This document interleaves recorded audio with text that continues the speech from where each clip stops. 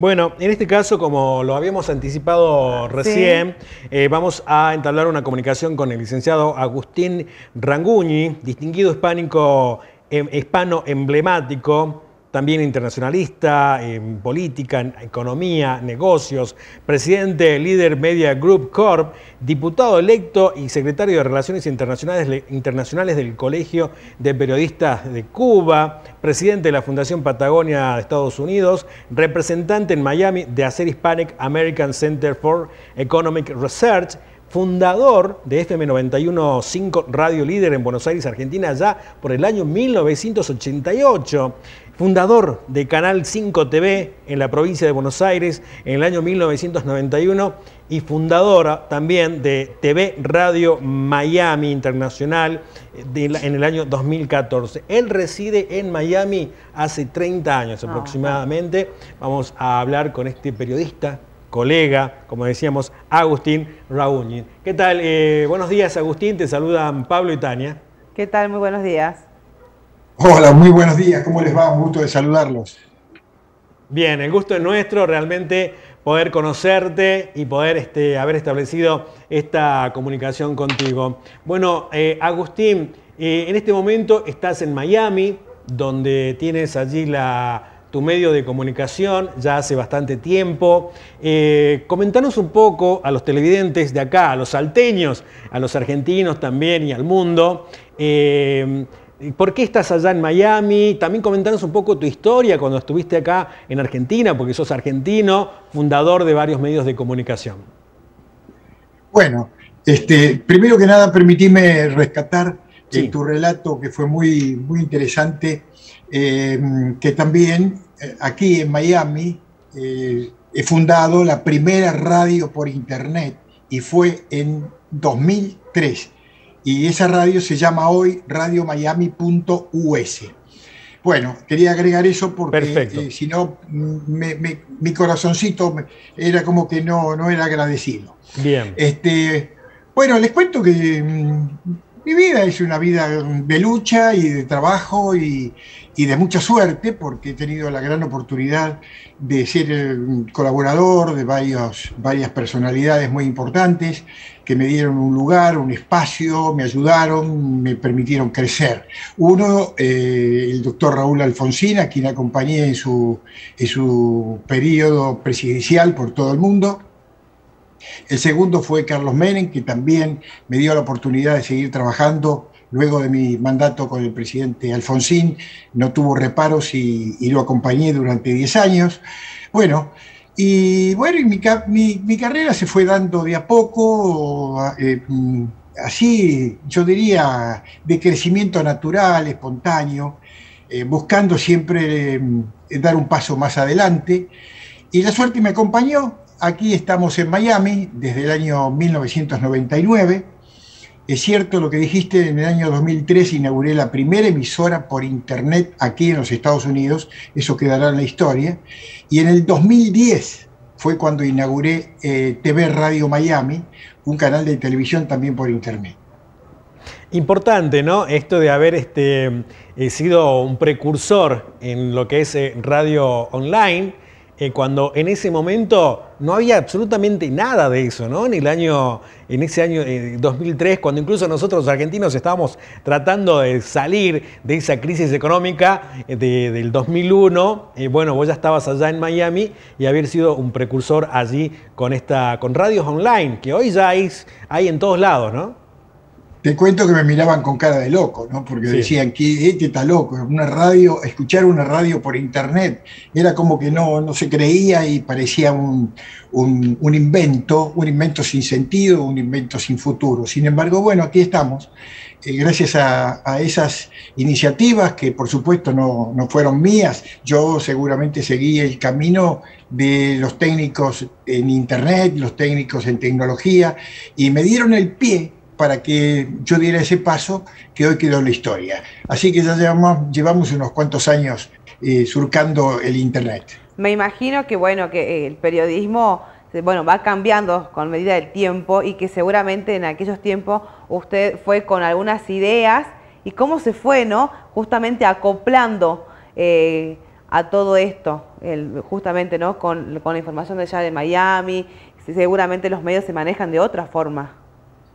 Sí, sí, sí, evidentemente hay otro, otra fórmula, otro sistema, otra forma de encarar las cosas, pero tampoco estamos este, muy separados de la Argentina, eh, yo creo que Argentina también evoluciona mucho y, y, está ahí cerquita de equiparar lo que se hace aquí en Estados Unidos.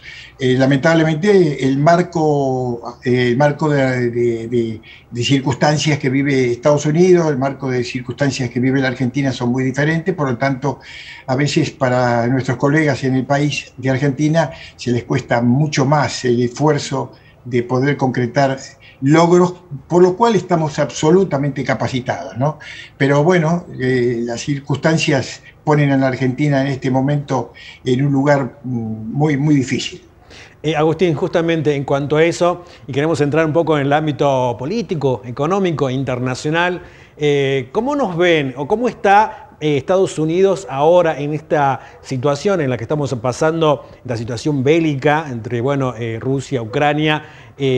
¿Cómo está Estados Unidos y cuál es la mirada que ellos tienen hacia los latinos y hacia los argentinos? ¿Te referís a, los ciudadanos americanos cómo ven a la Argentina? Sí, sí, sí. Bueno, tengo que ser honesto em, en contestar porque si no, este, no, serviría. Eh, Argentina eh, es un país con muchos problemas, Argentina es un país que, mm, que, ha desaparecido del marco de referencia. Si hablamos de Argentina aquí, por ejemplo en Miami, es habitual que todos aquellos argentinos que trabajamos aquí, de alguna manera rescatemos la imagen de Argentina, generando debates, generando reuniones, generando eventos, invitando a argentinos que vengan aquí a, que nos cuenten la historia. Precisamente hace poco estuvo el, expresidente eh, eh, Mauricio Macri, la semana que viene estamos esperando la visita de otra dirigente, este, también aquí que nos va a dar un marco de referencia eh, in situ de lo que vive la Argentina. Pero desde aquí estamos muy preocupados por la Argentina, evidentemente. Eh, vemos que no hay forma de salir de esta, de esta situación tan dramática. Y mm, lo único que aspiramos es de qué manera podemos contribuir desde aquí eh, para precisamente apoyar un, digamos, un camino de, crecimiento, un camino de desarrollo, un camino de paz social, un, un país donde tiene que erradicar eh, este sistema de, pobreza genérica que tiene el país con, los trabajadores, con la gente que no consigue trabajo. O sea, de aquí lo sufrimos mucho, realmente. ¿Por qué? Porque tenemos amigos, porque tenemos este, parientes, porque yo tengo hijos en Argentina. Eh, por lo tanto, la situación para mí es muy dramática la que vive la Argentina. Bueno, y allí en Miami, como decía, ¿no? hay muchísimos argentinos. Es un, este, un lugar elegido por los argentinos, eh, quizás para ir por primera vez o hacer también trabajos allá, ¿no? Sí, sí, sí. Sí, sí, hay un intercambio porque, claro, este, tenemos una, economía dinámica aquí que también hoy está, está viviendo las circunstancias mundiales, ¿no? Este, estamos en un momento de recesión, un momento de aumento de precios, aumento de gasolinas, que, por supuesto genera todo un trabazón del desarrollo económico. Eh, pero cuando hablamos de la Argentina, tratamos de, hacer todo lo posible para que todos los que vengan aquí tengan la posibilidad de desarrollar algún, algún objetivo, algún, alguna operación comercial.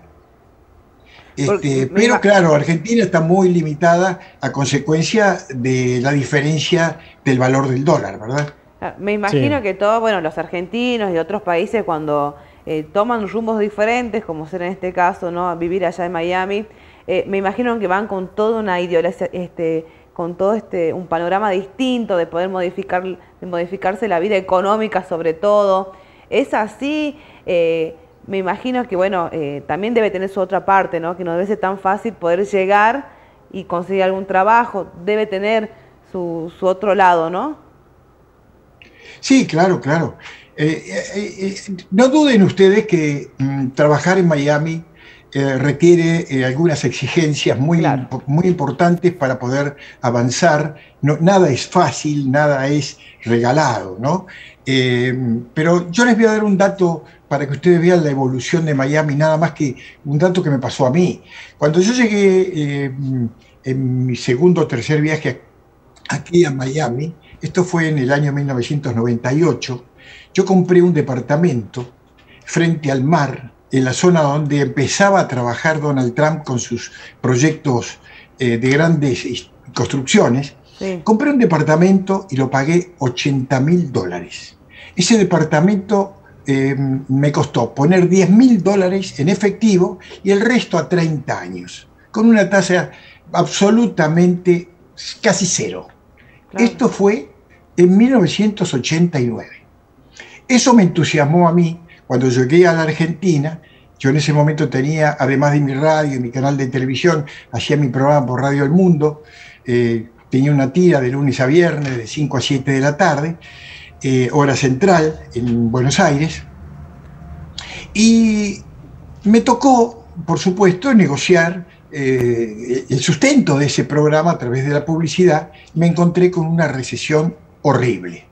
Me acuerdo que fui a ver a las grandes empresas, a los bancos, a las instituciones. El asunto es que me encontré que me estaba dando la señal de que se venían tiempos muy difíciles. Pero además, yo estaba motivado por esa compra que había hecho y ya de por sí me había puesto, yo me voy a Miami, yo me voy a Miami.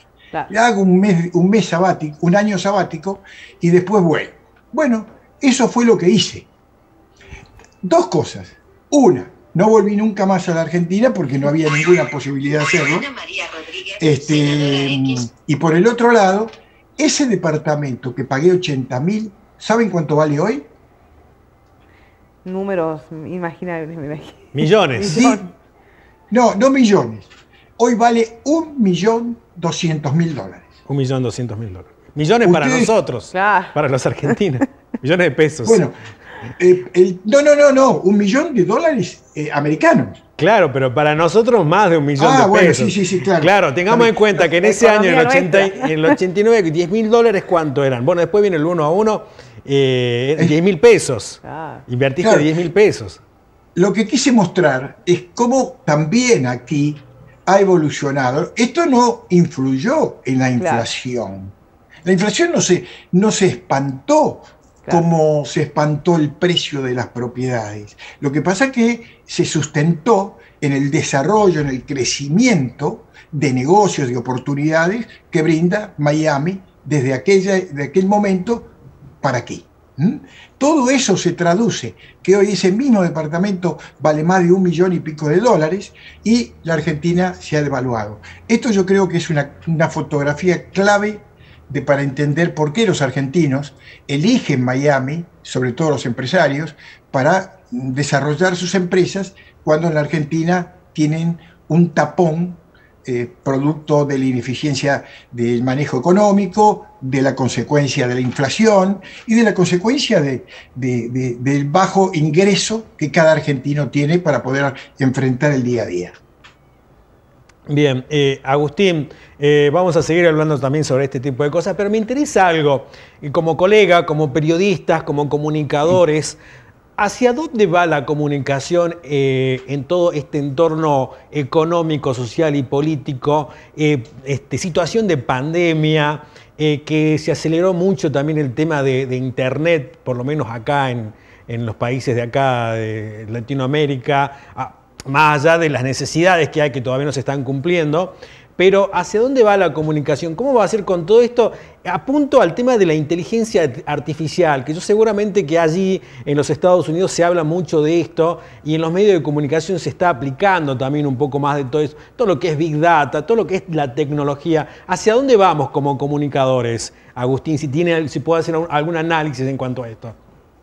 ha cambiado mucho, ha cambiado ¿Eh? mucho, ha cambiado mucho sí, claro, claro. Yo recuerdo, yo recuerdo mis comienzos aquí con la, internet, eh, era, eh, bueno, era dificultosa comparado con hoy, ¿no? Eh, era era difícil de abordar, era caro de abordar. Hoy, comparativamente es mucho más accesible, es mucho más fácil, tenemos eh, muchos elementos, además la tecnología ya aporta los elementos para que las cosas se hagan fácil, ¿no? aplicando simplemente un par de, mecanismos y uno ya logra el objetivo. ¿Por qué? Porque la tecnología precisamente nació para esto, para darnos ayuda, no para que tengamos que descubrir o estudiar tecnología para poder manejar una computadora. Ya la computadora la, lo usamos ya de, norma, ya viene con todas las fórmulas y podemos hacerlo. Y yo creo que eso en todos los terrenos de la tecnología está, sucediendo. Eh, lo, que viene, lo que viene, según lo que nosotros conocemos desde aquí, y desde un plano, eh, digamos, muy primario, ¿no? este, bueno, va a haber muchos cambios que nos van a sorprender en poco tiempo. Claro, sí, sí, sí. Eh, eh, eh, es así, me parece que sí, ¿no? Porque se vienen mucho, muchísimos adelantos. Y bueno, vos decías que es mucho más fácil. Hoy establecemos una comunicación vía videoconferencia con vos que hace 10, 15 años quizás no, se lo podía hacer. Claro, totalmente de acuerdo. La transmisión por satélite, el segundo carísimo. Bueno, lo que ha sido, lo que es internet realmente nos está dando, nos está dando esta, esta posibilidad incluso de hacer esta, esta comunicación contigo. Bueno, eh, vamos a seguir este, hablando, tenemos unos minutitos más. Este, ¿cómo, ¿A qué te estás dedicando en este momento? ¿Solamente a lo que es comunicación o estás realizando otra actividad allí en Miami, Agustín? Bueno, no, no, realizo varias actividades porque mm, de alguna manera tienen que ver con la comunidad, tienen que ver con, con, esas cosas que hay que hacer, eh, nada más que porque eh, de repente uno puede aportar o colaborar con algo. Por ejemplo, apoyar alguna institución de bien público, estar con alguna fundación que mm, recolecta dinero para mm, gente que no tiene ni trabajo. Esta situación que ha generado el COVID despertó muchas necesidades. Eh, mucha gente eh, decidió no ir a trabajar, pero también hubo mucha gente que no pudo trabajar y esto trajo muchas consecuencias aquí. Eh, o sea, aquí también tenemos que reconocer algo. me, me gustaría que ustedes no crean que esto es todo una situación de paraíso, exactamente, nada que ver. Hoy, por ejemplo, un, trabajador eh, que tiene que pagar una renta le es casi imposible. Hoy una renta en cualquier departamento vale de 2 mil dólares para arriba y los sueldos están en mil, 1.500, 1.700. Hay que vivir, hay que comer, hay que eh, curarse, hay que vestirse, hay que viajar. Todo eso es muy caro y por lo tanto la habitación es imposible de pagar. En este momento se está dando el fenómeno de mucha gente que está quedando no solo sin trabajo, porque muchos no, no quieren trabajar a consecuencia de la situación, otros los que quieren trabajar no encuentran trabajo y los que encuentran trabajo no, no tienen los recursos para sobrevivir el día a día por el costo que tiene Miami. Miami es una ciudad cara, es una ciudad que lamentablemente eh, pasó a un territorio casi prohibitivo para el común denominador de un trabajador. ¿Y, por qué es caro, este, Agustín? ¿A qué se debe? Porque todo es caro, porque todo es caro. Parece mentira la respuesta, pero todo es caro. Es caro el teléfono, es caro el transporte, un Uber. Tomar un Uber es, es, es caro. Este, pagar impuestos es caro. Aquí hay que pagar impuestos. Lamentablemente aquí hay una, una norma, acá no se puede dejar de pagar impuestos, este, el alimento es caro, eh, o sea, ¿por qué es caro? Bueno, porque la calidad de vida de la gente hace que primero gana más, gasta más. Al gastar más, evidentemente, eh, coayuda a que los comerciantes tengan mayor rentabilidad o busquen mayor rentabilidad, uno de los caminos es aumentar los precios. Eso eh, se avanzó mucho tiempo, se logró el objetivo, pero hoy tiene sus consecuencias. Hay gente que está sin trabajo y no puede, este, o, trabajando no alcanza a pagar una canasta básica. ¿Se ve gente en la calle este, allí en Miami? Gente, me refiero, eh, indigencia, ¿hay indigencia? Como... No, no, no. Eh, por supuesto que hay, por supuesto que hay, porque tenemos una zona en, lo, que se da el downtown de Miami, en la pequeña ciudad, en el centro de la ciudad de Miami, un poquito apartado. Quienes vienen a Miami, yo no puedo negarlo porque los que vienen a Miami lo ven. Y deben haber mucha gente argentina que nos está escuchando que vinieron a Miami y lo vieron. Hay gente tirada, tirada en la calle, este, durmiendo en la calle, comiendo en la calle, esperando que alguien le dé alguna ayuda. Bueno, toda esa gente está ahí y no lo podemos negar. Hay mucha gente que está viviendo bajo los puentes.